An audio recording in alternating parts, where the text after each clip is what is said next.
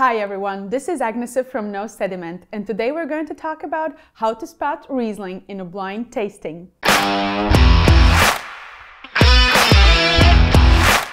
But before we begin, make sure to watch my other videos about the wine tastings where I discuss topics such as appearance, nose and palate of the wine. I will link them in description below.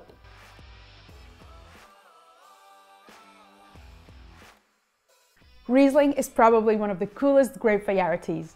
Ask any sommelier, wine professional or enthusiast which is their favorite white grape variety and Riesling will pop up quite often. It is also one of my favorite grape varieties, which is why two-thirds of my white wine collection is made from Riesling. Because I love Riesling so much, and to be honest, I enjoy it quite often, I thought it would be very easy for me to spot it in the blind tasting. However, in my Master of Wine studies, I have missed it several times already.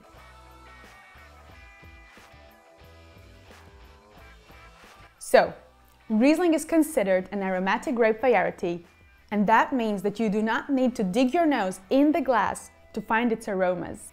Its aromatics vary from fresh citrus notes such as lime and lemon, to floral notes such as white blossom.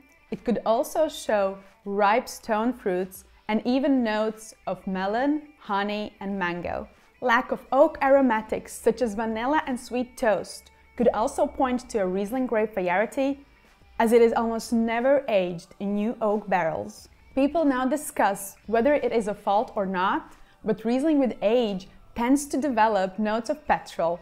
At first, the idea to smell petrol in the wine might seem icky, but trust me, when it is only slightly felt and is mixed within ripe citrus fruits, white peaches, and honey, it adds towards the complexity, which is absolutely amazing.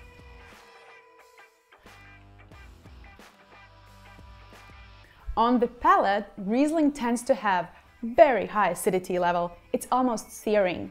I know what you must be thinking now. Riesling and high acidity level?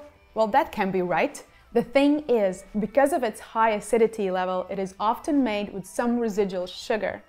If you think of slice of lemon, it is very high in acidity, and no matter how much sugar you put on it, it will still have very high acidity level, even though you might not feel it anymore. Nowadays, one of the greatest assets of Riesling is that it develops relatively low alcohol levels, to find one with 13.5 degrees of alcohol, you must really put an effort. Depending where it's from, it can be sleek and linear in body, for example Mosel Valley in Germany, or it can be rich and even oily if it comes from Alsace in France, or Wachau Smaragd Level from Austria. So, if you have a white wine in your glass with piercingly high acidity level, maybe some residual sugar, and low alcohol levels that is combined together with very high aromatic profile and no oak influence, chances are good that this wine is made from Riesling.